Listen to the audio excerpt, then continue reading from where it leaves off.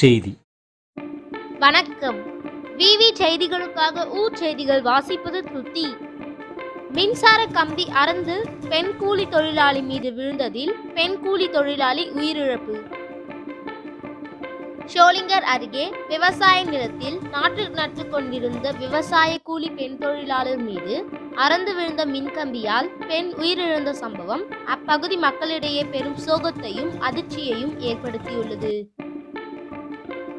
ராணிப்பேட்டை மாவட்டம் ஷோலிங்கர் நகராட்சிக்குட்பட்ட சபாபதி நகர் பின்புறம் உள்ள கெங்காதரன் என்பவருக்கு சொந்தமான நிலத்தை சோமசமுத்திரம் பகுதியைச் சேர்ந்த சீனிவாசன் என்பவர் குத்தகை எடுத்து விவசாயம் செய்து வருகிறார்.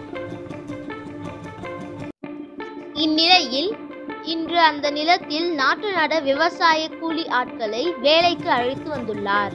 அப்போது விவசாய கூலி தொழிலாளி சோமசமுத்திரம் பகுதியைச் சேர்ந்த சுப்பிரமணி என்பவரின் மனைவி உஷா என்பவர் நிலத்தில் நாற்று நட்டு கொண்டிருந்துள்ளார். அப்போது எதிர்பாராத விதமாக விவசாய நிலத்தில் மேல் பகுதியில் வயல் நடுவே சென்று கொண்டிருந்த மின்கம்பி திடீரென நாற்று நட்டு கொண்டிருந்த பெண் மீது விழுந்ததில் மின்சாரம் பாய்ந்து சம்பவ இடத்திலேயே உயிரிழந்தார். உயிரிழந்த உஷாவிற்கு மூன்று மகள்கள் ஒரு மகன் உள்ளனர்.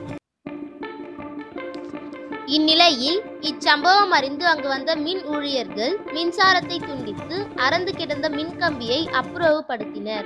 இதனிடையே இச்சம்பவம் அறிந்து அங்கு வந்த ஷோலிங்கர் காவல்துறையினர் உயிரிழந்த உஷாவின் உடலை கைப்பற்றி பிரேத பரிசோதனைக்காக ஷோலிங்கர் அரசு மருத்துவமனைக்கு அனுப்பி வைத்து வழக்கு பதித்து விசாரணை நடத்தி வருகிறார்